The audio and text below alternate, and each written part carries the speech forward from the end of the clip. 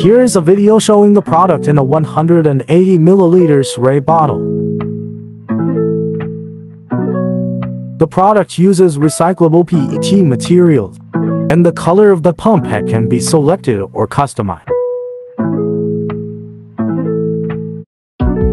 The water mist sprayed by pressing is fine, and there will be no large particle liquid splashing. The bottle body can be used for color spraying, silk screen printing, bronzing, hot silver, and other processes.